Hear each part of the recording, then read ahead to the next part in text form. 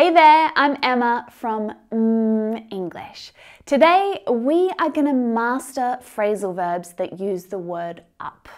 So I'm going to teach you the most common phrasal verbs with up, and I'm going to do it in a slightly different way. It'll be a new way to help you understand the meaning and to remember the phrasal verbs better by focusing on the particle, focusing on up. So perk up, get up, and round up your mates. We are about to dive into this lesson.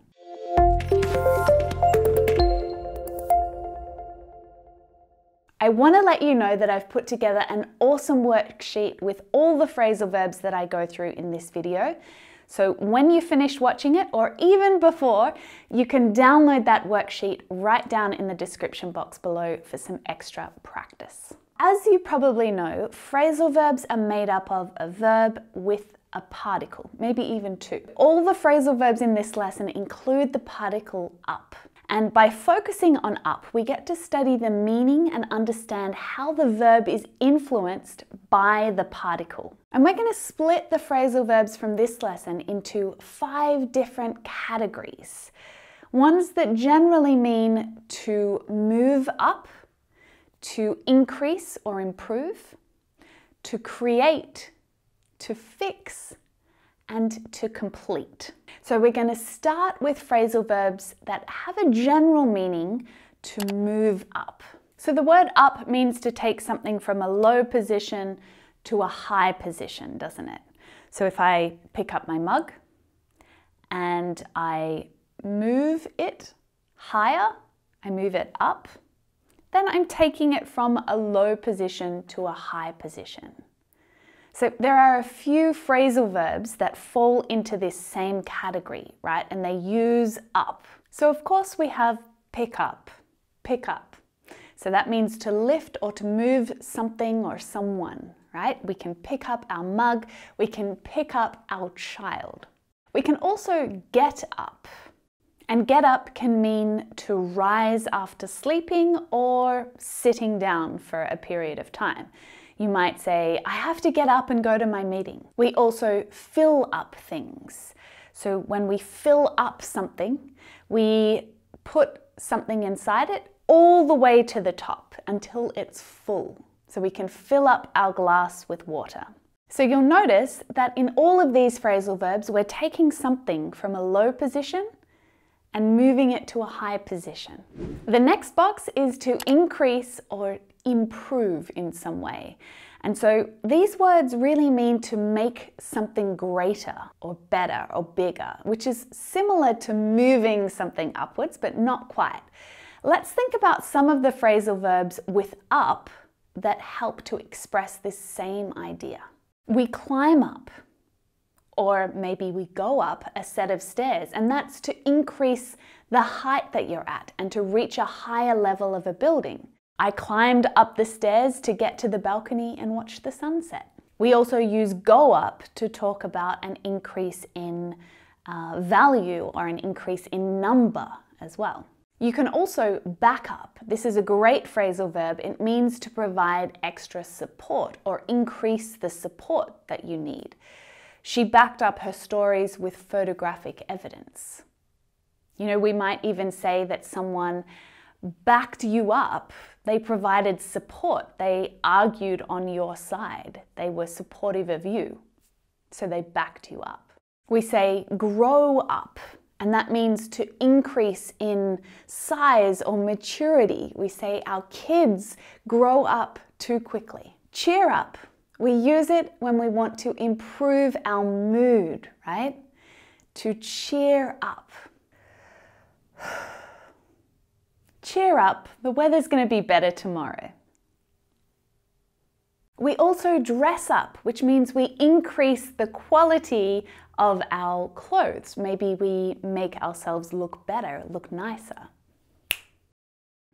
All the phrasal verbs in this box relate to create. You know I love to cook, right? So the phrasal verb to cook up is a really great one to use when you want to make something, some food for someone else, to cook up some dinner, to cook up uh, a steak, for example. It can also mean to get an idea ready, um, an exciting, interesting idea. I'm cooking up a plan um, to do something interesting, maybe a surprise party. Now, whip up is a little similar to cook up. It means to cook something, but to do it really quickly. You know, I'm just going to whip up a sandwich during my break, right? We wouldn't whip up an entire roast dinner, but we can whip up something quickly. How about to dream up? To think of a new idea or to imagine something new, to be creative with your thoughts. I dreamt up an entire new plan for the party. We also set up, and we use set up when we organize or we plan something like an event or maybe even a system. I set up my studio every time I need to film a lesson for you. Makeup is a good one as well. Makeup can refer to inventing or creating a lie or a fake story. She would often make up stories to make her life seem more interesting. Make up. Cool, huh? Not to be confused with the noun make up, but the phrasal verb make up is to creatively think up a story or an idea.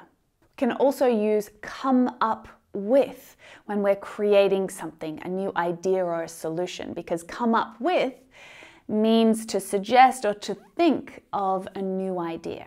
You know Elon Musk? Great example. He comes up with grand plans to save humanity, like electric cars and flying to Mars. so can you see how all of those phrasal verbs have something to do with, they're connected to the idea of creating or making something, and that's why they're grouped together. But there are many more of them as well, but that's why paying attention to the particle and the meaning that the particle offers the verb can help you to learn and to practice and to remember and even to guess the meaning of new phrasal verbs. So in the next box is fix or get better. So to fix something or to repair it, to make it whole again. Let's go back to make up. Because if you make up with someone, you're repairing your relationship after you've had an argument. Sarah and John had another argument, but they always make up. And again, that's not to be confused with our other meaning, right? Our noun or our other phrasal verb meaning, to make up. Heal up is another one. Heal up is when an injury gets better. His broken leg healed up really quickly. So it fixed itself, it got better. To sober up means to become less drunk or intoxicated. Coffee and breakfast will help you to sober up after a long, crazy night out on the town. Patch up is a great one, a little informal but a lovely phrasal verb. It means to fix or to make something whole again. I'm going to patch up the hole in my jumper so that I can use it again, I can wear it again. I'm going to fix it. I'll patch it up. Inside the last box, we have phrasal verbs that mean to complete, to completely finish something. We finish up something, we complete it. Please finish up the design by Friday. Another phrasal verb with a very similar meaning is wrap up. It's almost time to wrap up this lesson. To finish up, to wrap up. And we can say drink up, drink up, or eat up. That means finish your food or your drink. Finish it, we're gonna be late. Drink up, we're gonna be late.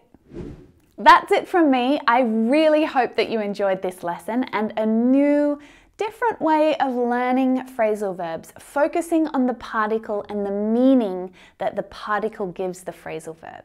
Now don't forget to download that workbook. There's extra practice in there and you'll be able to review and revise everything that we went through in this lesson. And if you enjoyed it, please make sure you hit that subscribe button down there. You give the lesson a like. All of it really helps English.